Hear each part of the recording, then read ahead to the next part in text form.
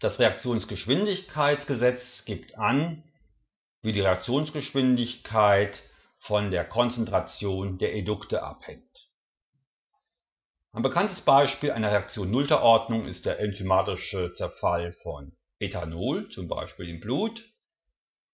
Wenn wir die Konzentration vom Ethanol gegen die Zeit auftragen, stellen wir fest, dass wir eine Gerade erhalten.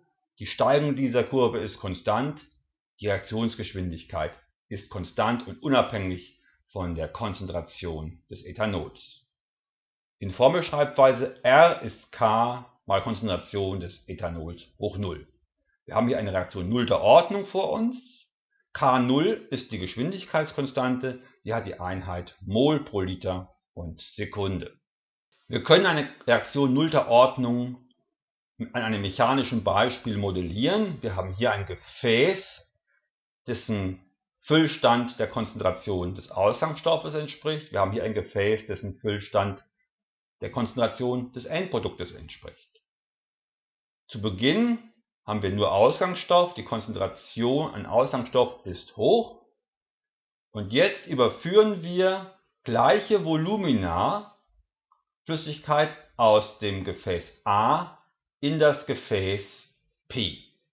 Die Menge pro Zeit, die wir überführen, die Reaktionsgeschwindigkeit ist konstant, das Volumen des Gefäßes ist ein Maß für die Geschwindigkeitskonstante.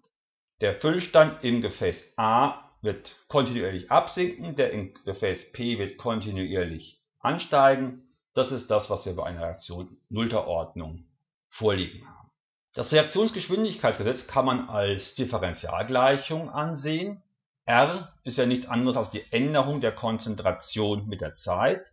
Wenn wir uns auf den Ausgangsstoff A beziehen, ist das minus dA nach dt. Integriert zwischen den interessierenden Grenzen a und a0 erhalten wir dieses Geschwindigkeitsgesetz. Konzentration von a ist gleich Konzentration von a zur Zeit 0 minus k0 mal t. Dieses integrierte Geschwindigkeitsgesetz ist sehr nützlich, wenn wir Ausbeuten und Reaktionszeiten berechnen wollen. Eine wichtige Kenngröße ist die Halbwertszeit, die angibt, nach welcher Zeit eine gewisse Konzentration auf die Hälfte abgesunken ist. Diese Zeit ist für eine Reaktion nullter Ordnung nicht konstant. Wir können sie mit der Formel T halb ist gleich A0 durch 2K0 berechnen. Wenn wir zum Beispiel eine Ausgangskonzentration von 0,5 Promille haben, brauchen wir zweieinhalb Stunden, um diese Konzentration zu halbieren. Um die Konzentration dann von 0,25 weiter zu halbieren, brauchen wir nur noch die Hälfte der Zeit.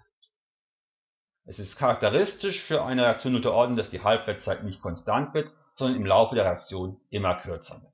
Sehr viele Reaktionen sind erster Ordnung, wie zum Beispiel die Substitution an ein Halogen-Kohlenwasserstoff. Reaktionsgeschwindigkeiten erster Ordnung haben wir auch in der Physik beim radioaktiven Zerfall. Kohlenstoff 14, welches in der Atmosphäre mit einer konstanten Konzentration vorliegt, weil es immer wieder nachgebildet wird, wird zur Altersbestimmung genutzt. In abgestorbenen Organismen sinkt die Konzentration an C14 mit einer Halbwertszeit von 6000 Jahren nach 12.000 Jahren ist nur noch ein Viertel, nach 18.000 Jahren nur noch ein Achtel der Ausgangsmenge vorhanden. Eine beliebte Musterreaktion erster Ordnung, die im Labor gerne durchgeführt wird, ist die Rohrzuckerinversion. Aus Rohrzucker wird katalytisch Glucose und Fructose. Auch hier ist die Reaktionsgeschwindigkeit proportional der Konzentration des Rohrzuckers hoch 1. Wir können uns auch eine Reaktion erster Ordnung mechanisch modellieren. Wir haben wieder unsere zwei Gefäße mit den Füllständen, welche die Konzentrationen simulieren sollen. Wir transportieren jetzt wieder Flüssigkeit, aber diesmal nicht mit einem klassischen Gefäß, sondern mit einer Pipette, die einen konstanten Durchmesser hat. Wir tauchen die Pipette in Gefäß A, verschließen die Pipette und entleeren die Pipette in das Gefäß P, obwohl wir pro Zeiteinheit die gleiche Anzahl von Transportvorgängen durchführen, überführen wir doch immer weniger Flüssigkeit von A nach P. Je geringer der Füllstand von A ist, desto geringer ist auch die überführte Menge. Das ist eine typische Reaktion erster Ordnung. Bei einer Reaktion erster Ordnung können wir das Geschwindigkeitsgesetz ebenfalls integrieren. Wir halten a gleich a0 mal e hoch minus k1 mal t, einen typisch exponentiellen Abfall der Konzentration mit der Zeit. Als Halbwertszeit erhalten wir für eine Reaktion erster Ordnung eine Konstante, nämlich ln2 durch k1.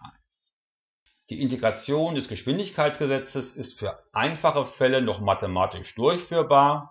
Wir separieren die Variablen, integrieren links und rechts mit den sinnvollen Grenzen und erhalten dann das integrierte Geschwindigkeitsgesetz. Einfache Reaktionen haben Geschwindigkeitsgesetze nullter oder erster Ordnung. Bei nullter Ordnung haben wir einen linearen Abfall der Konzentration mit der Zeit. Bei erster Ordnung haben wir einen exponentiellen Abfall der Konzentration mit der Zeit. Im Fall nullter Ordnung wird die Halbwertszeit immer kürzer, im Fall erster Ordnung bleibt die Halbwertszeit konstant